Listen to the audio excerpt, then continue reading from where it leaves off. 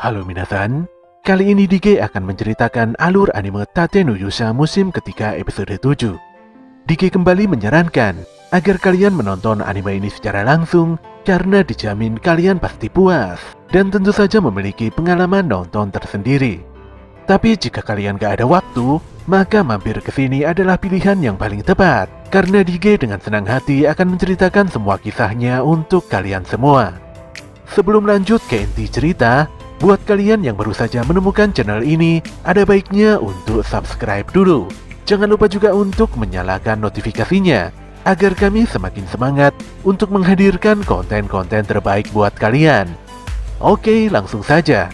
Persiapkan diri kalian and enjoy.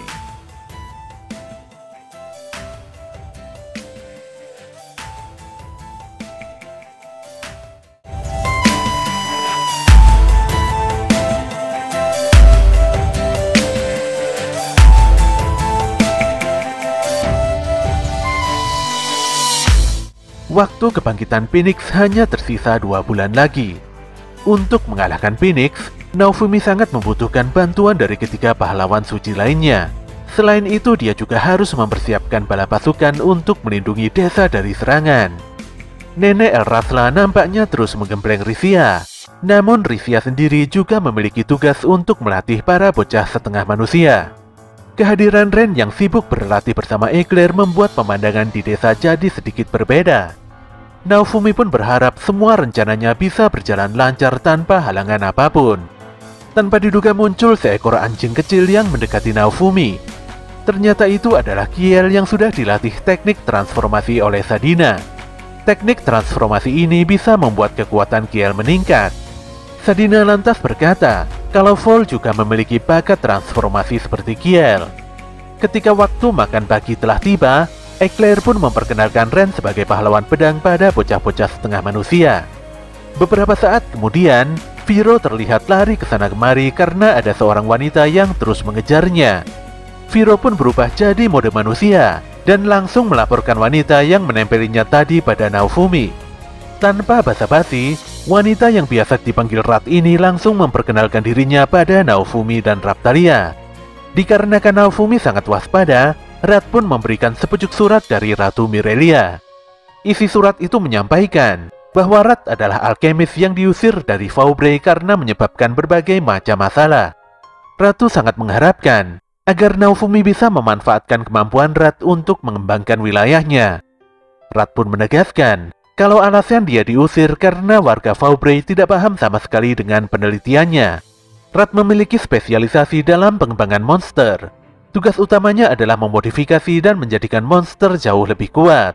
Sayangnya orang-orang Faubre menuduhnya telah melakukan hal buruk. Mereka pun menghancurkan laboratorium Rat dan bahkan membunuh subjek penelitiannya. Rat sangat tertarik pada Viro, karena Viro adalah spesies burung Virorial yang sama seperti Ratu Virorial. Naofumi pun menuruti keinginan Rat dan membawa wanita tersebut melihat-lihat kandang monsternya.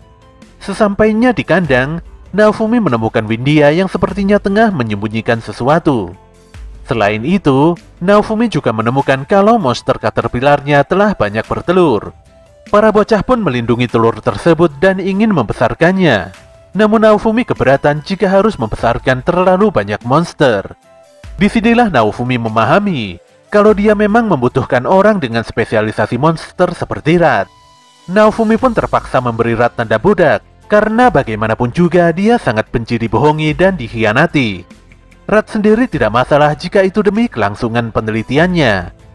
Windia menyampaikan kalau ada kiriman barang dari Silvold untuk pahlawan perisai. Ketika dibuka, ternyata di dalamnya banyak sekali perlengkapan penting yang salah satunya adalah telur naga. Menurut Rat, telur ini adalah bakal calon naga tingkat tinggi yang merepotkan. Apalagi naga ini nantinya bisa kawin silang dengan ras lain yang mana bisa menyebabkan rusaknya ekosistem. Namun Windia tidak terima, karena menurutnya naga itu adalah sosok yang kuat dan keren. Walau Rat memastikan kalau dirinya bisa menciptakan monster yang jauh lebih kuat dari naga, namun Windia bersikeras untuk memelihara bakal naga ini. Di sinilah Naofumi memutuskan untuk membesarkan naga itu dengan bantuan Rat. Pada siang harinya, Paman Enhar terlihat cukup geli melihat Naofumi menggendong telur naga di punggungnya. Raptalia pun menjelaskan, jika Naofumi menghangatkan telur naga, maka hal ini akan berdampak positif pada telur itu. Sebenarnya Naofumi terpaksa melakukan hal ini karena Ren benar-benar tidak bisa menggantikannya. Apalagi efek Kurseris membuat semua benda yang disentuh Ren langsung rusak seketika. Selain itu, Windia terlihat sangat tidak suka jika pahlawan pedang yang menghangatkan telur naga. Enhard lantas menyerahkan pedang meteorit berkualitas tinggi yang dipesan Raptalia. Setelah menyentuh pedang tersebut, Raptalia pun mendapatkan skill baru yang sepertinya mirip dengan teknik pedang milik Ren. Beberapa hari kemudian, Naofumi dan Raptalia melihat Rat telah membangun laboratorium miliknya sendiri di dalam sebuah pohon besar. Rat mengungkapkan kalau tempat barunya itu adalah camping plan, di mana pohon ini adalah varietas yang bisa menjadi tempat tinggal setelah benihnya ditanam. Selain itu, tempat ini bisa menyimpan cahaya matahari, dan ketika hari mulai gelap maka bunganya akan bersinar. Naofumi pun sangat kagum dengan penemuan Rat yang cukup berguna ini. Raptalia merasakan bahwa Vips hidup di desa Lurolona saat ini begitu berbeda dengan yang dulu. Sesaat kemudian, telur di punggung Naofumi mulai retak sedikit demi sedikit. Mereka semua pun memasuki laboratorium Red untuk mengamankan telur tersebut. Sesaat setelah Windia datang, telur besar itu pun menetas dan memunculkan seekor naga unik berwarna merah. Windia pun langsung memberikan nama pada naga kecil ini yaitu Gaelion. Di luar dugaan, Naga kecil ini nampak senang dengan nama pemberian Windia. Dan karena Windia yang telah memberikan nama, maka Naofumi memintanya untuk merawat Kailion dengan baik. Kemunculan Kailion pun disukai oleh para anak-anak setengah manusia. Naga ini juga sudah bisa terbang dalam waktu yang relatif singkat. Kailion selalu menemani Windia pergi ke mana pun. Bahkan tak jarang dia juga ikut menaikkan level dengan mengalahkan para monster di hutan. Selain dekat dengan Windia, Kaelion sepertinya juga ingin mendapatkan perhatian Naofumi. Namun di dekat Naofumi ada Viro yang sangat membenci Kaelion. Ya, memang sejak dari zaman dahulu kala, spesies naga dan Virorial tidak pernah ada akur-akurnya. Ketika Naofumi sedang sibuk bekerja, tanpa diduga dia berhasil menjebak sosok makhluk iseng yang selalu menggedor pintu dan setelahnya melarikan diri dari rumahnya. Namun saat jebakan perisai penjara itu dibuka, ternyata sosok yang ditangkapnya adalah si Kailion. Tentu saja Naofumi langsung mencari Windia dan bertanya mengapa Kailion melakukan hal iseng seperti itu. Setelah digali lebih dalam oleh Windia, ternyata si Kailion hanya ingin bermain dengan pahlawan perisai. Jelas saja hal ini membuat Naofumi bingung dan merasa bersalah. Naofumi pun membiarkan Kailion bermain-main di kamarnya dia juga membiarkan naga kecil ini bertindak sebagai penjaganya ketika malam menjelang. Saat itu si Kaelion mengendus sebuah tas kecil di meja Naofumi, di mana di dalamnya terdapat sebuah bola kecil berwarna ungu kegelapan. Naofumi pun mengingat kalau bola tersebut adalah batu inti Kaisar Naga yang diproses di dunianya Kizuna. Penjelasan santai Naofumi langsung membuat Sadina begitu kaget. Dia pun meminta semuanya untuk menjauhkan bola ungu tadi dari Kaelion. Namun sudah terlambat karena si Kaelion telah menelan bola tersebut. Kaelion pun merasa kesakitan dan tidak mampu memuntahkan bola itu. Lebih parahnya lagi, naga kecil ini langsung berevolusi menjadi besar dan sulit dikendalikan. Tanpa disadari, Kaelion mulai menyerang Naofumi dan yang lainnya dengan semburan nafas api yang begitu kuat. Melihat situasi yang sangat buruk ini, Rat yang merupakan ahli monster langsung mengingatkan pada Naofumi agar sesegera mungkin mengambil tindakan tegas sebelum Kailion menghancurkan desa. Namun yang ada di pikiran Naofumi saat ini hanyalah cara untuk menyelamatkan Kailion. Untungnya Kailion hanya meraung-raung saja, dan setelahnya dia langsung terbang menjauh meninggalkan desa menuju ke pegunungan yang merupakan salah satu habitat spesies naga. Melihat situasi buruk yang terjadi, Sadina menyimpulkan kalau Kaisar Naga telah mengambil alih ego Kaelion. Rat pun mendukung pernyataan Sadina dengan mengatakan bahwa naga memiliki organ inti yang berisi ego. Inti itu dapat meninggalkan kemampuan serta mewarisi ingatan naga sebelumnya, yang dalam hal ini adalah ego naga zombie di dalam inti Kaisar Naga. Naofumi pun meminta Ake untuk memanggil Nenek Elrasla dan Rivia yang tengah melakukan ekspedisi. dia lantas meminta Red untuk melindungi desa dan para monster, di mana jika kondisi semakin buruk maka Saint akan turut membantu. Naofumi pun berbagi tugas dengan yang lainnya untuk mengejar Gaelion. Namun dalam kondisi genting seperti ini, Eclair tiba-tiba datang dan mengabarkan kalau Viro sedang sakit keras. Tentu saja Naofumi terkejut, apalagi para tabib tidak bisa berbuat banyak untuk menolong Viro. Naofumi, Raptalia, Vol, Atla, dan Windia pun memutuskan untuk segera menemui Viro. Sementara Ren dan Sadina melakukan persiapan gelar peralatan dan setelahnya berangkat bersama untuk mengejar Gaelion. Saat ini kondisi Viro benar-benar buruk. Naofumi pun menyadari kalau level Viro semakin lama semakin menurun. Parahnya, sepertinya EXP Viro mengalir deras pada Gaelion. Melihat energi dahsyat yang keluar dari Viro, Atla lantas menekan aliran energi tersebut dengan kedua tangannya. Seketika itu juga kondisi tubuh Viro perlahan membaik. Namun ini hanya bersifat sementara, dan dengan penurunan EXP seperti ini, sepertinya Viro tidak akan bisa bertahan lebih dari dua hari. Ketika Naofumi hendak pergi, Viro pun memaksa untuk mengantarkannya. Naofumi pun terpaksa menuruti permintaan Viro, dan Viro Real ini pun berlari mati-matian mengantarkan rombongan Naofumi menuju desa di arah timur. Sesampainya di TKP, Viro langsung beristirahat karena benar-benar kelelahan. Atra, Rap, dan Melty langsung memberikan mantra penyembuhan pada Viro. Sementara Naofumi langsung disambut oleh para penduduk desa. Para penduduk lantas berkata, kalau ada sesosok naga terkutuk yang bersembunyi dalam gua besar di balik gunung. Para penduduk pun meminta bantuan Naofumi untuk membereskan naga terkutuk supaya tidak terjadi wabah buruk seperti sebelumnya. Naofumi dan rombongannya pun langsung berjalan kaki menuju lokasi sarang naga. Entah bagaimana caranya, Naofumi dan partinya harus membuat Gaelion memuntahkan inti Kaisar Naga supaya naga itu tidak terus-terusan mengamuk. Tapi jika inti Kaisar Naga telah merusak seluruh tubuh Gaelion, maka semua orang harus mengambil keputusan tegas. Di tengah perjalanan mereka dihadang oleh seekor landak yang cukup ganas. Saat itu juga Windia langsung maju dan mengalahkan monster tersebut dengan teknik sihirnya. Naofumi agak kaget dengan skill unik Windia. Sadina lantas menjelaskan kalau Windia adalah ahli sihir aliran pembuluh darah naga. Hebatnya, sihir tersebut memungkinkan penggunanya untuk melepaskan sihir kooperatif dan interferensi. Windia lantas menyampaikan bahwa skillnya didapatkan dari mendiang sang ayah. Sementara itu kondisi Viro di desa malah semakin memburuk. Selain itu, di sekujur tubuhnya muncul tanda kurseris yang benar-benar menyiksanya. Walau Atla dan yang lainnya berusaha menekan penyakit Viro, namun kelihatannya hasilnya nihil. Kembali pada rombongan Naofumi, di mana mereka nampak beristirahat di lokasi terakhir naga zombie bersemayam. Ren nampak mengenang ketika dirinya mengalahkan naga di tempat ini.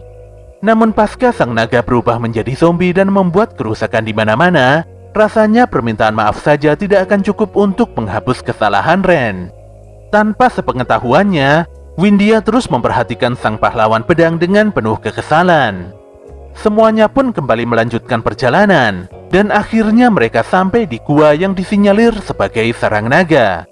Tanpa membuang waktu, mereka lantas memasuki gua gelap yang begitu dalam.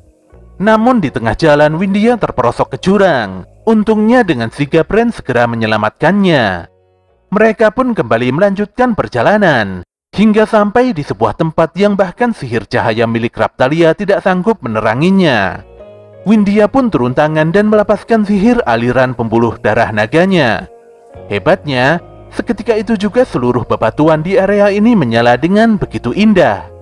Namun saat itu juga Kailion muncul dan berusaha menyambar Naofumi. Walau tidak ada masalah dengan Naofumi, namun di sini muncul masalah baru, di mana Viro yang sebenarnya masih sakit malah muncul dan berusaha menyerang Kailion. Melty dan yang lainnya pun tidak sanggup berbuat banyak untuk menenangkan Viro. Baik Kailion ataupun Viro terlihat sangat kesetanan dan tidak bisa dikendalikan. Viro pun langsung menyerang, namun hanya dengan sekali semburan nafas beracun, burung Virorial ini pun langsung KO dan berubah menjadi mode manusia. Gaelion lantas menelan Viro bulat-bulat. Melihat status Viro yang masih muncul, membuat Naofumi dan yang lainnya sadar kalau Viro masih hidup. Mereka semua pun menyerang Gaelion demi menyelamatkan Viro. Namun setelah diserang sedemikian rupa, tubuh Gaelion malah berubah semakin besar dan sangat kuat. Saking kuatnya, berbagai serangan ultimate pun tidak sanggup untuk melumpuhkannya. Naofumi lantas melepaskan buff untuk meningkatkan serangan seluruh partinya. Kali ini pertahanan Gaelion jebol, dan naga ini pun langsung terkapar setelah menerima begitu banyak serangan mematikan. Namun saat semuanya hendak menghabisi Gaelion, tanpa disangka Windia maju dan melindungi sang naga. Semuanya pun sangat terperanjat ketika menyadari kalau Windia menyebut naga ini sebagai ayahnya. Windia pun menangis dan meminta naga ini untuk berhenti bertarung lagi. Di hadapan semuanya, Windia mengungkapkan kalau ayahnya adalah seekor naga yang menjadikan tempat ini sebagai wilayah kekuasaannya. Ketika naga ini tewas setelah dibantai pahlawan pedang, dia tetap bangkit kembali sebagai naga zombie untuk mempertahankan wilayahnya. Di sinilah terungkap mengapa Windia sangat tidak menyukai pahlawan pedang yang telah merenggut nyawa ayahnya. Namun pikirannya mulai terbuka ketika melihat sang pahlawan perisai yang begitu baik padanya dan para setengah manusia. Windia pun meminta ayahnya mengembalikan Viro dan tidak berbuat hal buruk lagi. Namun naga ini tidak mendengarkan dan langsung menyerang Windia dengan cakar besarnya. Ren pun dengan sigap menahan serangan sang naga dan segera menyelamatkan Windia. Di sinilah Windia mulai ketakutan, karena sosok naga di hadapannya memiliki kekuatan yang begitu gelap dan itu bukanlah ayahnya. Naga besar ini pun melepaskan aura kegelapan yang sangat pekat.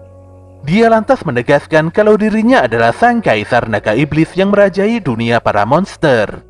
Naga ini berambisi menguasai dunia untuk menggantikan manusia yang lemah. Dia bahkan menaruh dendam dan akan membunuh para pahlawan di dunianya Kizuna karena telah menghalangi ambisi besarnya. Atla lantas menjelaskan pada Naofumi bahwa sejumlah besar kekuatan mengalir pada naga iblis dari perisainya Naofumi. Nampaknya Kurseris Naofumi merupakan salah satu sumber kekuatan naga iblis. Ketika Melty meminta naga iblis untuk mengembalikan Viro, di sinilah sang naga membuka dadanya dan memperlihatkan kondisi Viro yang benar-benar sangat mengenaskan. Jika tidak segera diselamatkan, maka Viro akan menyatu dan menjadi darah daging naga iblis. Jelas saja Naofumi sangat marah. Dia lantas memberikan buffnya pada Raptalia dan mensupport gadis tersebut untuk melancarkan serangan. Sayangnya tebasan pedang Raptalia tidak sanggup menembus kulit naga iblis yang sangat keras. Lebih parahnya lagi, serangan Sadina, Ren, Eclair, dan Melty juga tidak berguna dan seakan-akan tidak sampai pada sang naga. Di sini Naofumi menyadari sesuatu, di mana mungkin saja kekuatan pertahanan naga iblis ada di perisainya. Kesimpulannya, perisai amarah mungkin bisa dilemahkan dengan sengaja gagal memperkuatnya. Naofumi pun tidak bimbang untuk menyelamatkan Viro, walau hal tersebut justru melemahkannya. Namun naga iblis tidak akan membiarkan hal itu terjadi. Dia pun membajak beberapa skill perisai Naofumi termasuk perisai amarah. Hal ini pun membuat kekuatan naga iblis semakin menjadi-jadi. Naga ini pun meledakkan kekuatannya dan membuat beberapa member party Naofumi terkapar tidak berdaya. Tidak berhenti di situ, sang naga pun juga bersiap melepaskan semburan nafas apinya pada Windia, Vol, dan Atla. Saat itulah Naofumi berlari dan berusaha melindungi ketiga bocah setengah manusia itu dengan seluruh skill teknik pertahanannya.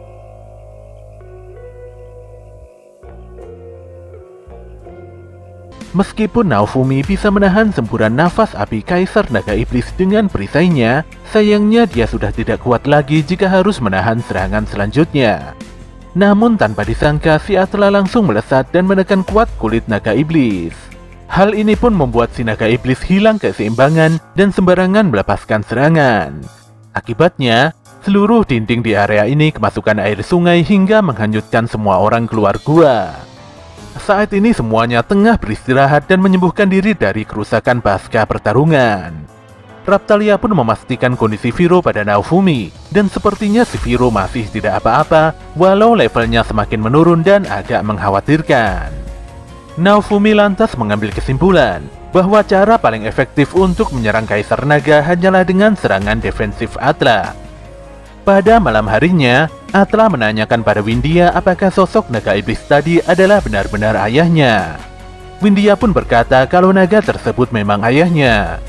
Dia lantas mengisahkan tentang masa lalunya, di mana kala itu ada seorang lelaki yang berlari ke dalam hutan dan menggendong seorang bayi perempuan.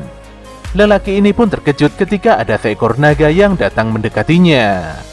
Melihat sang naga terdiam, lelaki ini lantas memohon agar makhluk itu mau merawat bayinya. Sang naga pun langsung meraung tanda mengiyakan. Lelaki ini pun menjelaskan kalau nama dari bayi ini adalah Windia. Tanpa diduga lelaki tersebut langsung meninggal dunia karena nyatanya dia terluka parah. Naga ini lantas menggendong dan membawa Windia masuk ke dalam sarangnya.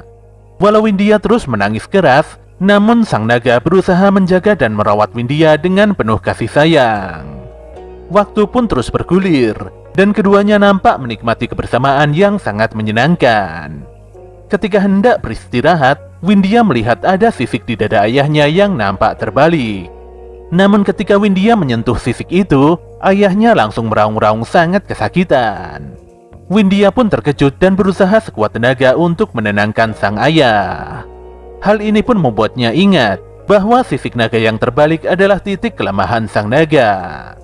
Windia pun bergegas menemui pahlawan perisai untuk mengabarkan informasi penting ini. Setelah mengetahui kelemahan sang naga, Naofumi dan yang lainnya pun mulai merencanakan strategi untuk mengalahkan makhluk buas tersebut. Walau yang diserang semua orang adalah sosok sang ayah, namun saat ini perasaan Windia benar-benar lega karena tujuan utama dia datang ke tempat ini adalah untuk mengucapkan selamat tinggal pada ayahnya. Malam ini pun semuanya sibuk melakukan persiapan penting untuk menghadapi pertarungan besar besok. Pada pagi harinya, Naofumi mulai menjalankan rencana perang dengan melepaskan kekuatan perisai amarah untuk memancing sang kaisar naga iblis keluar dari sarangnya. Walau Naofumi begitu kesakitan akibat kekuatan perisai amarah, namun usahanya berhasil karena saat ini kaisar naga iblis telah muncul dan mendatanginya. Tanpa membuang waktu, Sadina, Melty, dan Windia langsung melepaskan gabungan sihir paduan suara untuk menyegel naga iblis di dalam penjara air yang begitu besar. Sedetik kemudian, semuanya pun menyerang dengan kekuatan maksimal. Sadina lantas melepaskan berbagai teknik ultimate-nya karena dialah yang mampu bergerak bebas di dalam air. Eclair dan Ren juga tidak ketinggalan dengan melesatkan sabetan pedangnya. Ketika naga iblis menyerang, Naofumi bertugas untuk menahan serangan tersebut dan setelahnya membiarkan partinya kembali melakukan berbagai serangan balasan. Walau Raptalia tidak berhasil menyabetkan pedangnya, namun beberapa serangan telah berhasil dilepaskan pada sang naga iblis. Sayangnya semua serangan tersebut jadi tidak berguna ketika sang naga iblis melepaskan satu serangan baliknya yang begitu kuat. Serangan tersebut membuat semuanya langsung terkapar dan tidak berdaya. Naga iblis pun sangat murka dan fokus menyerang Naofumi dengan semburan nafas apinya. Hexpin Naofumi nampak menurun drastis Walau Melty dan Windia sudah berusaha untuk menolongnya. Ketika keadaan benar-benar sangat buruk, tanpa diduga Atla berlari dan berusaha menyerang sang naga iblis dengan kumpulan kekuatan kinya. Namun dia tidak bisa melepaskan serangannya karena terhalang oleh sebuah dinding pelindung yang melindungi sang naga iblis.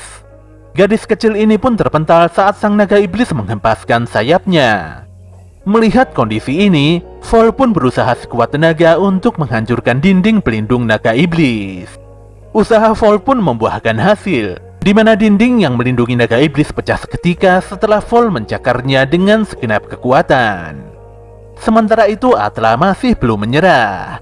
Dia pun kembali mengumpulkan seluruh kekuatan Ki di kedua telapak tangannya. Meskipun tubuhnya jadi hancur, dia akan berusaha semaksimal mungkin untuk melenyapkan semua hal yang menghalangi jalannya pahlawan perisai. Bagaimanapun juga, dia adalah perisai garda terdepan bagi Naofumi. Atra pun melesat dan menghindari serangan nafas api naga iblis dengan bantuan perisai udara Naofumi. Dia pun menyentuhkan ujung jari telunjuknya yang berisi seluruh kekuatan ki yang disimpannya tadi tepat di dada sang naga iblis. Serangan ini pun membuat naga iblis terhempas hebat dan langsung terduduk. Naofumi pun sangat bangga dan berterima kasih pada Atla. Sesaat kemudian dada Kaisar Naga Iblis tiba-tiba terbuka, di mana di dalamnya terdapat Viro dan Kailion. Tentu saja Ren segera menurunkan Viro dari sang naga. Semuanya pun sangat bersyukur melihat Viro dan Kailion baik-baik saja. Melihat tubuh Kaisar Naga Iblis yang mulai hancur, membuat Windia mengingat kembali tentang sosok ayah naganya dulu. Naga itu telah mewariskan kekuatan sihir dan kenangan yang sangat luar biasa pada Windia. Gadis ini pun menangis dan begitu bersyukur karena telah menjadi anak sang naga. Ketika naga iblis kembali menyerang, Sandina Melty dan Windia kembali merapalkan mantra sihir yang kemudian dilontarkan oleh Kailion. Bersamaan dengan itu, Sadina melesat dan menyerang sang naga iblis hingga membuatnya berhasil merebut kembali batu inti Kaisar Naga. Kaisar Naga Iblis pun meraung kesakitan dan dia berusaha kabur dengan terbang ke langit. Namun Raptalia tidak akan membiarkannya pergi. Dengan bantuan perisai udara Naofumi, Raptalia lantas menebas Naga Iblis dengan teknik pedang kabutnya. Hal ini pun membuat Kaisar Naga Iblis hancur dan lenyap bagaikan debu di langit. Semuanya pun terlihat senang. Namun Naofumi hanya bisa terdiam karena Kaisar Naga Iblis kembali mengingatkannya kalau kemarahan akan selalu menyelimuti hati Naofumi. Butiran debu Naga Iblis pun terserap masuk kembali ke dalam perisai Naofumi. Beberapa saat kemudian, para penduduk berterima kasih pada Naofumi karena telah kembali menyelamatkan desa dari ancaman Naga Iblis.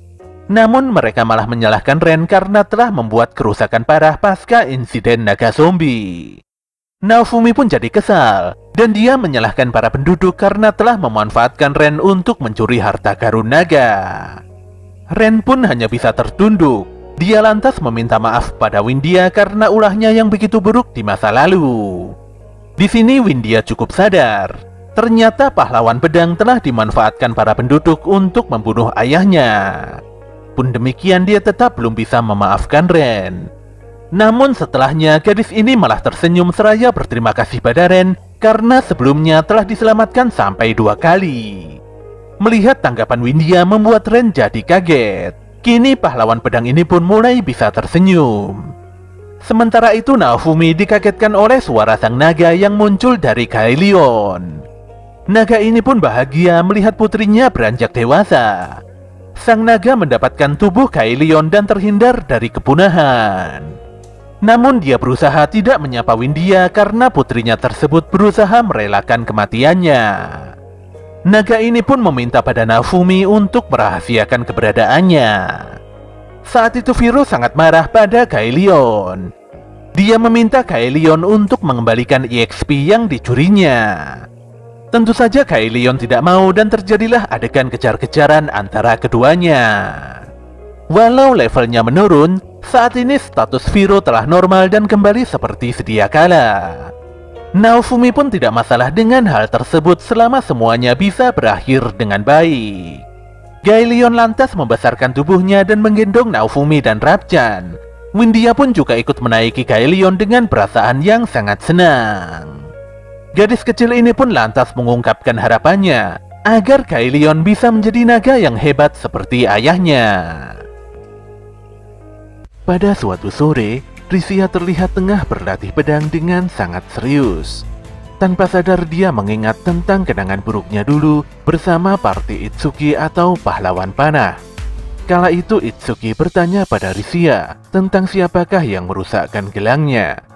Semua orang pun bersekongkol dan menuduh Risia dengan mengatakan kalau mereka jelas-jelas melihat Risia yang merusakkan gelangnya Itsuki.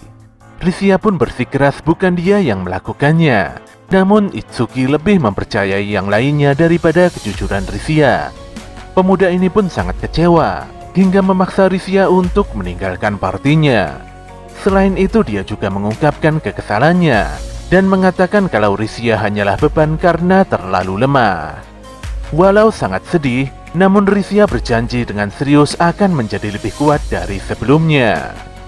Mengetahui muridnya kurang fokus, Nenek Elrasla pun menemani sesi latihan Risia dengan penuh semangat. Sementara itu Naofumi nampak bingung bagaimana memperbaiki rumahnya. Nampaknya akan banyak biaya yang keluar untuk memperbaiki rumah tersebut. Di sebelahnya terlihat Viro dan Kailion terus berdebat tentang siapakah yang pantas membawa pahlawan perisai. Walau sudah dinasehati agar tidak memperdebatkan hal yang tidak penting, namun keduanya menganggap kalau tugas ini sangatlah penting. Naofumi pun memberikan hukuman pada Gailion untuk jadi tahanan rumah karena sudah menyebabkan kekacauan sebelumnya. Sementara itu si Viro harus meningkatkan levelnya secepat mungkin. Naofumi pun mengumumkan pada semuanya kalau Melty akan memulai perjalanan dan menemani Viro dalam menaikkan level. Informasi mendadak ini pun membuat Melty kaget, berbeda dengan si Viro yang sangat senang sekali. Melty pun tidak bisa protes, karena keputusan ini telah mendapatkan persetujuan dari pasukan bayangan Mel Romar. Tanpa banyak bicara, Viro langsung berubah jadi Viro Real dan membawa Melty beserta Rapjan kabur bersamanya. Selama Melty tidak ada di tempat, Naofumi memerintahkan Eclair untuk mengurus tugas-tugas kota. Bagaimanapun juga sebenarnya itu adalah tugas utama Eclair, dan Melty selama ini sifatnya hanyalah membantu saja. Naofumi meminta Eclair lebih mandiri dan tidak terlalu bergantung pada Melty. Di sini Ren berusaha untuk membantu apa pun. Dengan tersenyum, Naofumi lantas berkata kalau Ren boleh melakukan apa pun untuk membantu Eclair. Tiba-tiba saat itu Saint muncul dan membuat semuanya kaget. Setelah makan bersama, Naofumi bertanya pada Saint mengapa selama ini pergi tanpa pamitan. Semua orang sangat kerepotan ketika Saint tidak ada di desa. Ternyata Saint sangat sibuk mengikuti duel kolosium bawah tanah. Namun hasil dari keuntungannya langsung disumbangkan pada Naofumi. Naofumi pun begitu senang mendapatkan uang banyak, walau dia sempat dinasehati Raptalia agar tidak terlalu sering memikirkan uang. Sadina sangat kagum karena Saint pandai mengumpulkan uang. Namun Saint berkata kalau ada yang lebih hebat dari dirinya dalam mengumpulkan uang. Dia pun melanjutkan, kalau beberapa hari belakangan ini muncul rumor tentang seorang pemanah yang berjalan melintasi kolosium utama setiap harinya. Pemanah misterius itu bernama Perfect High Justice. Ren dan Naofumi pun terperanjat, mengingat pemilik nama alay itu kemungkinan besar adalah Kawasumi Itsuki atau pahlawan panah. Dikarenakan minimnya informasi, Naofumi pun memutuskan untuk mencari petunjuk lebih lanjut. Singkat cerita, saat ini mereka semua berdiri di tribun penonton untuk menyaksikan pertarungan kolosium. Mereka lantas disambut oleh Pak Belo dengan senyum khasnya. Di sini Naofumi bertanya pada Pak Belo tentang salah satu kontestan yang bernama Perfect High Justice. Belum selesai mendapatkan jawaban, Rivia tiba-tiba mendapati sosok yang begitu mirip dengan Itsuki. Jelas saja Rivia langsung berlari mengejar sosok tersebut diikuti Naofumi dan yang lainnya. Setelah melihat dengan mata dan kepalanya sendiri, kini Naofumi dan Ren benar-benar sangat yakin kalau pemuda yang dimaksud Rivia tadi adalah Itsuki. Naofumi pun meminta izin pada Pak Belo untuk berbicara dengan Itsuki sebelum pertandingan dimulai. Tentu saja Pak Belo langsung mengizinkan Naofumi. Risia pun memasuki ruangan dan menyapa Itsuki dengan sangat hati-hati. Namun kelihatannya Itsuki tidak fokus dan bergumam pada dirinya sendiri. Dia berkata kalau dirinya dibutuhkan orang lain. Semua orang akan tertolong dengan penghasilannya dari kolosium. Dia pun berteriak dan menegaskan kalau dirinya adalah sekutu keadilan.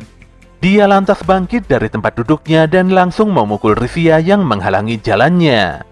Melihat hal ini membuat Naofumi marah dan langsung menghentikan langkah Itsuki.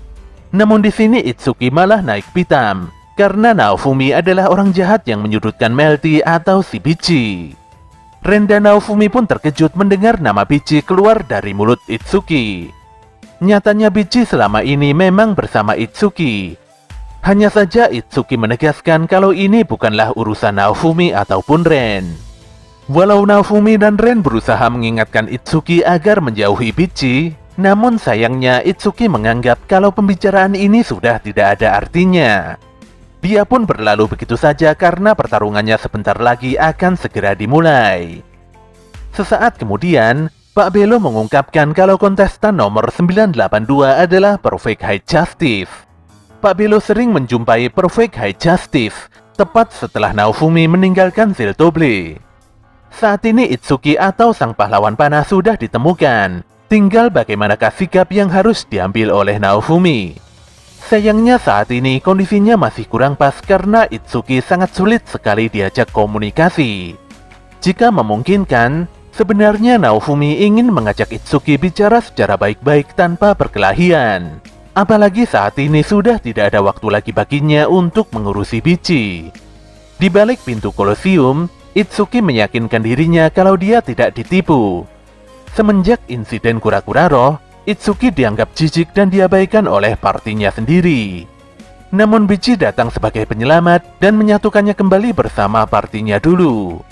Dia yakin kalau kehadirannya dibutuhkan semua orang, dan dia akan selalu bertarung dengan alasan itu. Itsuki pun berlari dan melesatkan serangan pada lawannya. Melihat pertarungan ini membuat Naofumi cukup kecewa, karena Itsuki tidak mampu memperkuat senjata sucinya. Dia juga merasakan ada hal yang tidak beres dengan panah Itsuki. Rivia pun nampak tidak nyaman melihat pertarungan Itsuki. Gadis ini sangat khawatir melihat orang yang dihormatinya kesakitan walau meraih kemenangan. Dia lantas memohon pada Naofumi untuk bertarung melawan Itsuki. Intinya, Rivia ingin berbicara dan membalas kebaikan Itsuki yang dulu pernah menyelamatkan nyawanya. Dulu Rivia hanyalah beban yang sangat tidak berguna. Dia selalu disisihkan dalam pertempuran ataupun tugas-tugas lainnya. Namun setelah menghabiskan waktu bersama Naofumi dan yang lainnya, dia begitu yakin bisa menolong Itsuki. Rivia pun tidak peduli dan akan terus bertarung walau Itsuki sulit diajak bicara. Melihat kondisi ini, Pak Belo lantas memberikan masukan penting pada Naofumi. Di sisi lain, Itsuki menyerahkan hadiah hasil kemenangannya hari ini pada partinya. Bichi pun berterima kasih atas usaha keras Itsuki. Namun Bici pasang muka sedih karena semua uang ini masih belum cukup untuk menyelamatkan para budak. Tentu saja Itsuki meminta Bici untuk tenang, karena dia akan terus berjuang untuk mendapatkan lebih banyak uang. Ketika Itsuki berkata kalau dia bertemu Naofumi di Kolosium, raut muka Bici langsung berubah. Itsuki sama sekali tidak meragukan partinya. Dia malah berupaya membuat Naofumi paham tentang misi mulianya. Namun di balik itu, Bici dan semua member party Itsuki sebenarnya memang berniat buruk untuk memanfaatkan Itsuki saja. Pada keesokan harinya, Itsuki kembali mengalahkan lawannya dalam pertarungan kolosium. Setelah menerima hadiah uang, Itsuki mendapatkan undangan pertarungan dari Pak Belo untuk malam nanti. Pak Belo akan menggunakan sihir suci agar pahlawan panah tidak bisa kabur dengan portal. Semua ini dilakukannya demi menangkap pahlawan panah. Walau sedikit curiga dengan rencana ini, Naofumi hanya bisa berharap agar Pak Belo tidak menjadikan pertarungan ini sebagai pertunjukan. Pak Belo pun menyetujui syarat tersebut, karena memang faktanya tidak ada yang diundang dalam duel malam ini.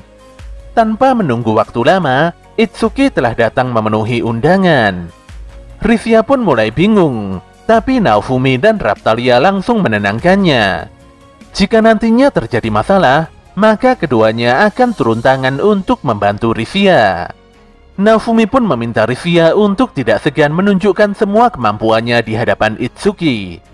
Pak MC pun memimpin jalannya pertarungan antara Rivia melawan Perfect High Justice. Sadar yang dihadapinya adalah Rivia, Itsuki pun jadi percaya diri bisa memenangkan pertarungan ini dengan mudah.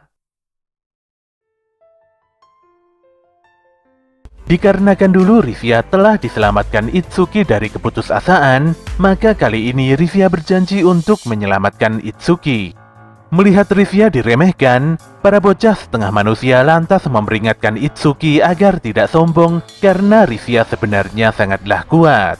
Tentu saja Itsuki jadi sangat kesal. Setelah melihat Naofumi berada di tribun penonton bersama partinya, Itsuki pun jadi sadar kalau pertandingan ini telah diatur. Dia berasumsi kalau Naofumi telah menipu dan menyiksa orang-orang untuk kesenangannya sendiri. Itsuki lantas mengarahkan senjatanya pada Naofumi dan meyakini kalau ini adalah perintah mutlak dari surga untuk membongkar kejahatan pahlawan perisai.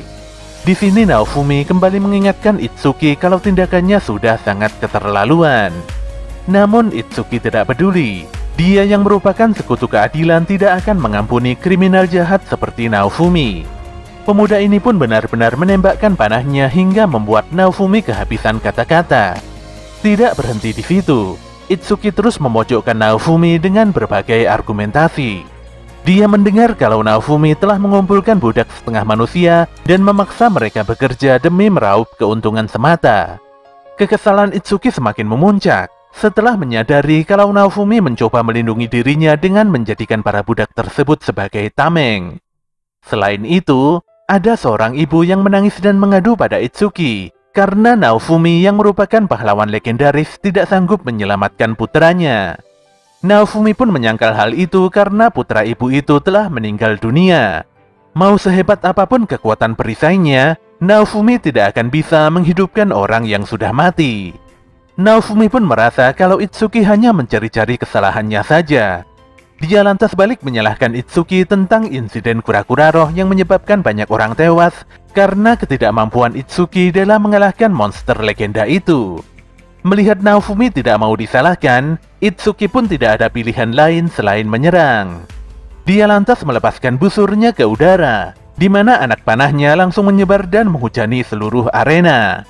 Dengan sigap Naofumi melindungi semua orang dengan perisai bintangnya. Sayangnya ada satu anak panah yang tepat mengenai Pak MC.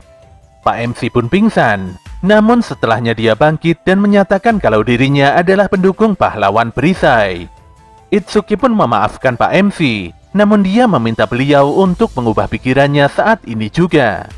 Anehnya Pak MC dengan tegas menuruti kemauan Itsuki.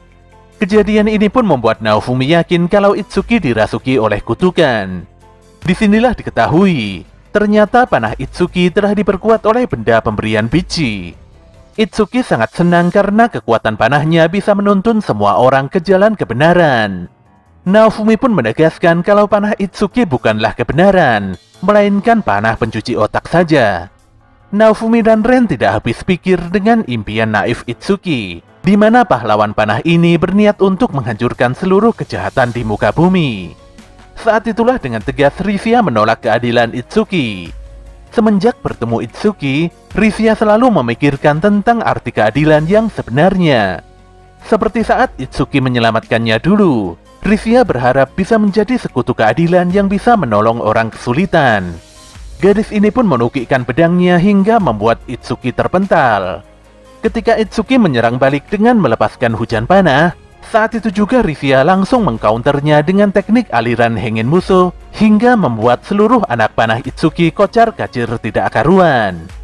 Itsuki pun mulai serius, namun Rivia tidak gentar dan terus menyerang pahlawan panah itu dengan teknik Hengen musuhnya. Melihat keteguhan Rivia, Itsuki pun melepaskan skill kutukannya, di mana teknik itu membuatnya memiliki sayap di punggung. Naofumi pun menyadari kalau kurs series milik Itsuki adalah kesombongan. Itsuki langsung mengunci bayangan dan tubuh Rivia dengan anak panahnya.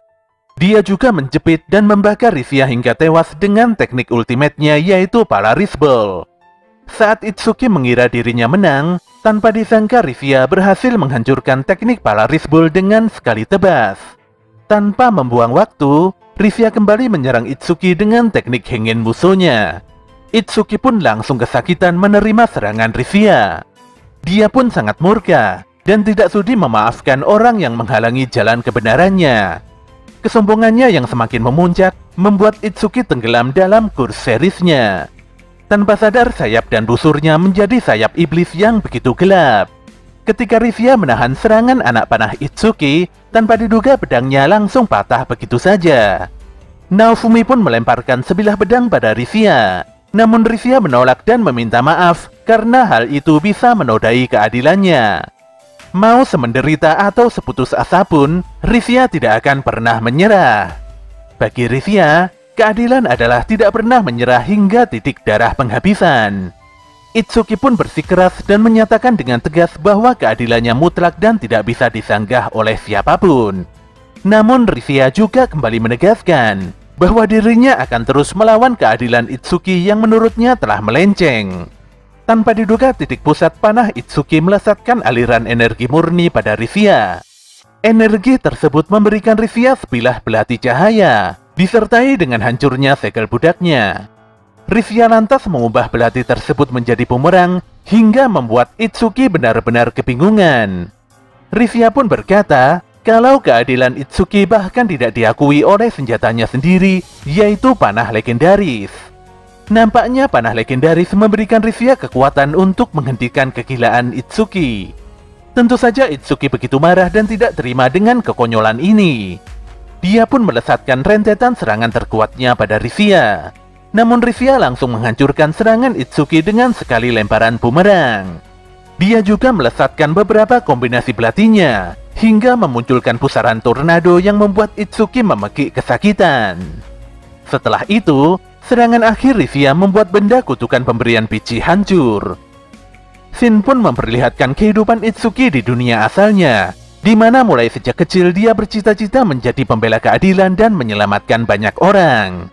Teman-teman Itsuki sangat baik dan mengagumi kepintarannya. Demikian juga dengan sang ibu yang begitu bangga dengan nilai akademiknya. Namun semua berubah ketika nilai akademisnya merosot. Hal ini pun membuatnya tidak dianggap oleh temannya lagi. Ibunya juga hanya bisa menangis melihat nilai Itsuki yang begitu buruk. Itsuki pun mengurung diri di kamarnya sambil bermain game. Dia tidak sudi mengakui semua fakta ini. Saat mengingat Bichi, Itsuki pun langsung berlari dan berusaha mencarinya. Bagaimanapun juga, saat ini hanyalah Bichi saja yang selalu mempercayainya sebagai seorang penyelamat yang berkeadilan. Sayangnya, Itsuki sangat terpukul karena tidak menemukan siapa pun di base campnya. Naofumi pun menemukan sepucuk surat dari Bichi untuk Itsuki. Ren lantas membacakan isi surat tersebut karena Itsuki tidak mau membacanya. Hadiah uang yang selama ini didapatkan Itsuki semuanya telah digunakan oleh Bichi. Bichi memanfaatkan Itsuki untuk mengambil peran utama sebagai pembela keadilan. Itsuki mudah dipermainkan karena kegirangan sekali setelah menyelamatkan orang. Namun Bichi meminta Itsuki tidak menaruh dendam. Dia meminta Itsuki untuk mengalahkan pahlawan perisai jika ingin kembali menemuinya. Ren benar-benar kesal setelah membaca seluruh isi surat Bichi. Parahnya, Bichi juga meninggalkan banyak tagihan hutang yang semuanya atas nama Itsuki. Saat itu juga Itsuki langsung membanting benda busuk pemberian Bichi. Dia pun tiba-tiba pingsan karena tidak kuasa menerima kenyataan yang sangat pahit ini. Beberapa hari kemudian, Itsuki mulai sadar dan membuka matanya. Rivia yang menemani Itsuki lantas menyampaikan bahwa desa ini adalah tempat yang dibangun oleh pahlawan perisai dan yang lainnya. Rivia pun melanjutkan kalau semua hutang Itsuki telah dilunasi oleh Naofumi. Rivia akan selalu di samping Itsuki untuk membantu semaksimal mungkin. Tanpa sadar saat itu juga air mata Itsuki menetes begitu saja. Sesaat kemudian, Rivia mengajak Itsuki untuk berjalan keluar dan memetik buah di kebun. Naofumi dan Raptalia nampak mengkhawatirkan kondisi pahlawan panah itu. Bagaimanapun juga, gara-gara menggunakan kekuatan kutukan, Itsuki jadi kehilangan segalanya termasuk panahnya sendiri.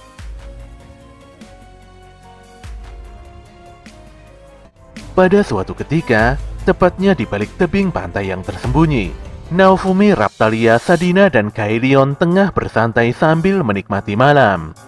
Raptalia dan Kaelion pun tidur karena terlalu banyak makan dan minum.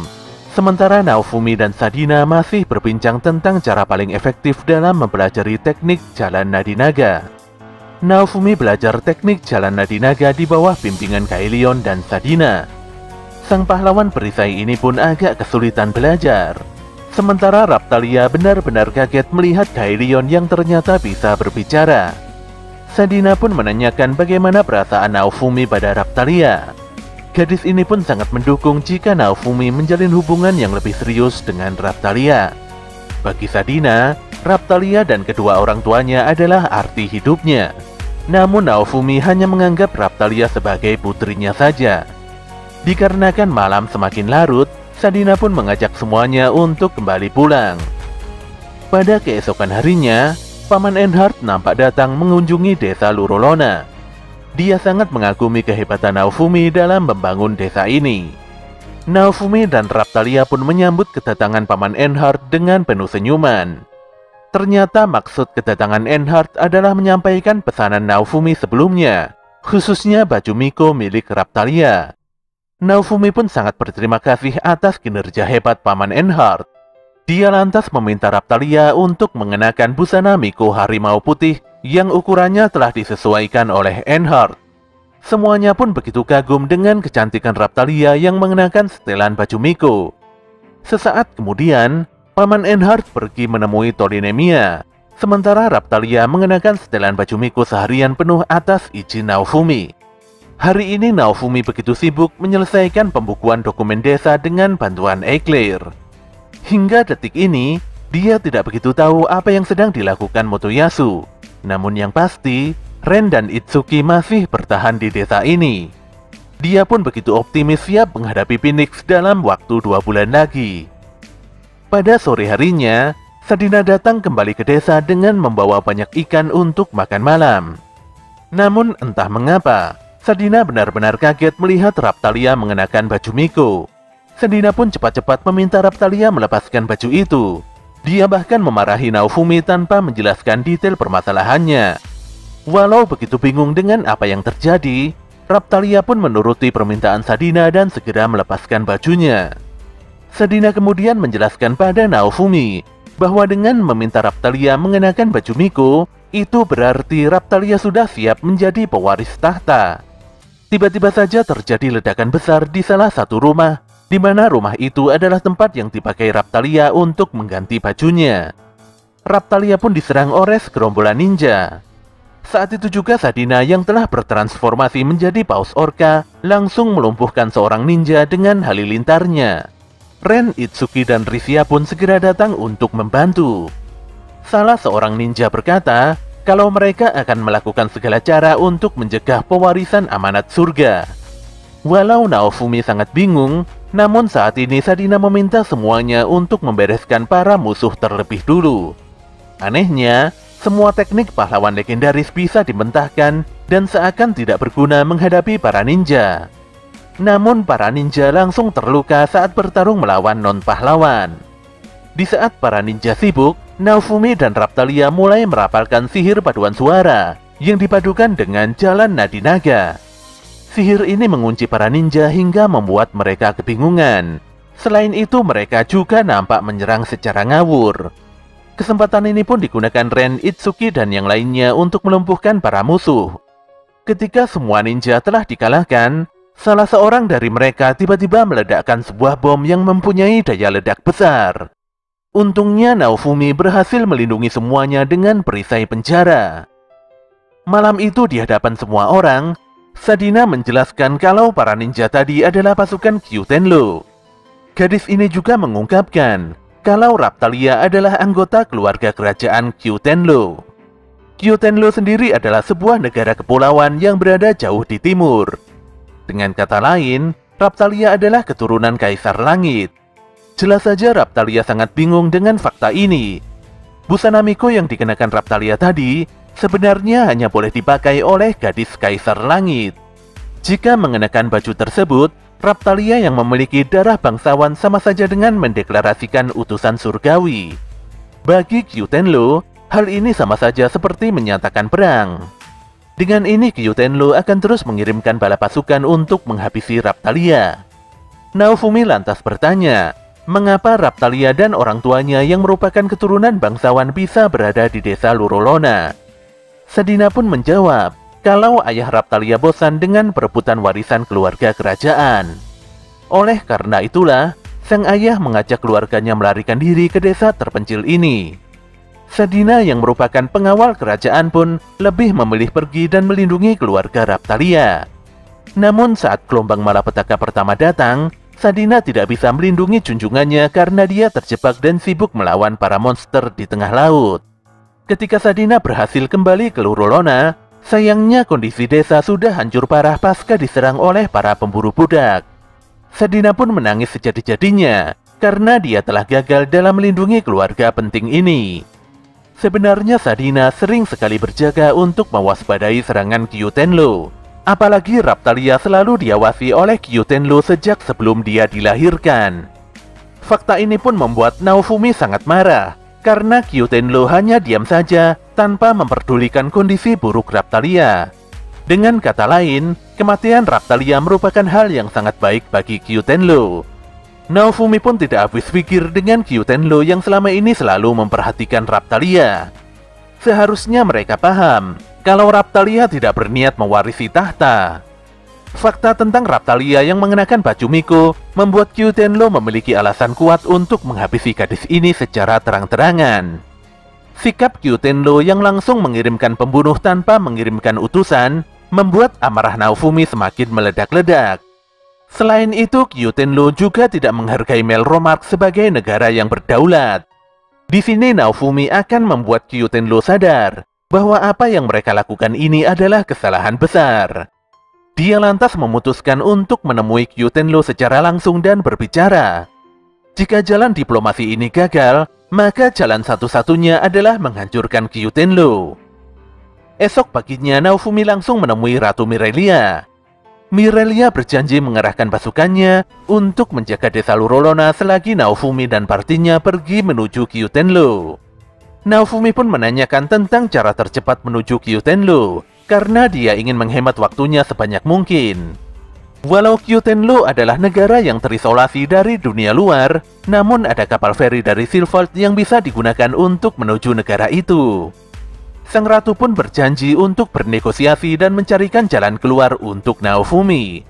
Tanpa membuang waktu, sore itu juga Naofumi langsung berangkat menuju Silvold bersama Windia dan Kailion. Jika nanti sudah sampai Silvold, Naofumi akan memanggil anggota partinya dengan menggunakan portal. Sebenarnya ini bukanlah hal yang tepat untuk dilakukan, mengingat Phoenix akan bangkit kembali dalam dua bulan lagi. Namun bagi Naofumi, pertarungan ini menjadi sangat penting karena akan menentukan nasib Raptalia ke depannya. Demi rekan terdekatnya, mau itu gelombang malapetaka ataupun pahlawan suci, Naofumi akan menjadikan mereka semua musuhnya. Dan meski harus melawan sebuah negara besar sekalipun, Naofumi benar-benar sangat tidak peduli. Bagaimanapun juga, ini adalah jalan terjal yang akan ditempuhnya sebagai sang pahlawan perisai.